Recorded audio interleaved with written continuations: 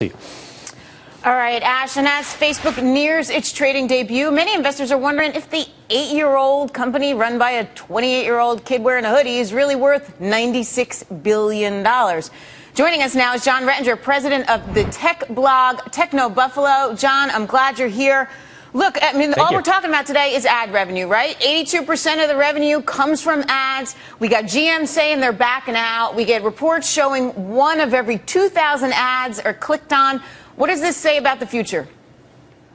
So you can't go anywhere now without hearing about Facebook. Right. So for institutional institutional investors, there are big red warning signs, but there are also some green lights that might be coming in the future. If you look at their price to earnings ratio, it's 100. You've got an average ratio of about 15 for most companies, and that's being mentioned everywhere. But what people aren't mentioning is Apple, when they IPO'd in 1980, their price earnings ratio was 92. So if you're going to equate Facebook as the next Apple, you definitely have to look back to the history there as well. Okay, that's a fair point, right? Maybe we should just throw away the old models and start over with this thing. But the question at the end of the day still is how are they going to make money? I mean, there's a big reliance on Zynga. Uh, Zynga, the game company, I'm thinking ties. There's many skeptics out there, as you said, and of course, there's no sequential revenue growth, and that's what's worrying people the most.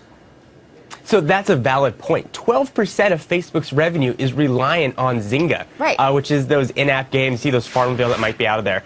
I mean, they're being valued at 24 times their revenue right now. So Facebook has to make a big push to mobile advertising. Right now, 50% of their total views are mobile, but they aren't monetizing them at all. So there's a lot of money being left on the table for Facebook. So, can you argue it's a little bit of a risk? Because, to your point, more and more people using it on their mobile devices. If they can figure out how to monetize this, this thing's a home run. If they can't, it's going to crash and burn a couple days into trading.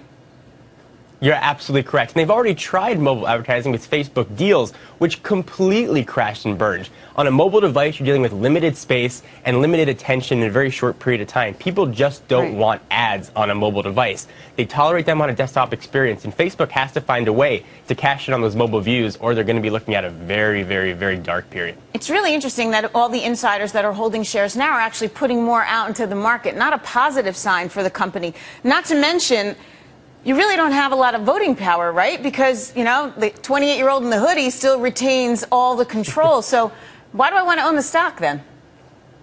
So that, that's a very valid question. There is that billion dollar question, though, of what Facebook's going to do with Instagram purchase. Uh, Right. And that might be how Facebook gets into mobile advertising. Uh, they just purchased uh, the, the photo sharing uh, platform Instagram. And there's been a lot of talk that they're going to get into a photo uh, monetization strategy. And that's how they're going to be pushing uh, mobile advertising to the audience. Do you worry about Europe at all? Because about 27% of the 900 million Facebook users are from overseas.